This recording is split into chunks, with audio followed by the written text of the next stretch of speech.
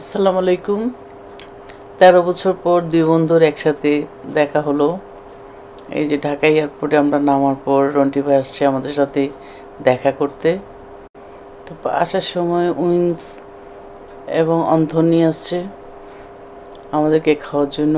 আর আমরা এখানে পাঁচ ঘণ্টা ওয়েটিং করছি ঢাকা মানে চিরং আসার জন্য। ঢাকা এয়ারপোর্টে আমরা বসে আছি। পাঁচ ছ ঘণ্টা পর আমাদের ফ্লাইট বিমান এয়ারলাইন্সে করে আমরা চিটং যাব। এই যে আমরা ওয়েট করছি এয়ারপোর্টে